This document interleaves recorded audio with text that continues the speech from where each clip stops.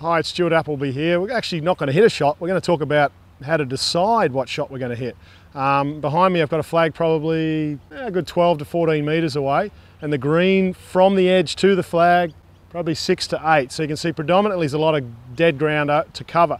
So what, as professionals, we tend to be followed to uh, lead towards when chipping is try and get the ball on the green as soon as the green starts. If you've got four metres of green to work with, use the four metres. If you've got 15, use 15. If it's a flop shot in two metres, obviously you're going to have to use nearly everything there. So when you come to these decisions where I've got eight to nine metres at least in front of me, um, I need to get that ball ultimately near as I can to that edge so it rolls out. These are the things, if you want to putt it from here, that's fine too. If you're comfortable putting it, running it along the ground, it just does make it harder to get your speed right. But when you can get that ball on the edge and track it to the hole from varying lengths, again, two, four metres out to 10 metres, try that. You'll get more consistency on the green than you will around the fringes.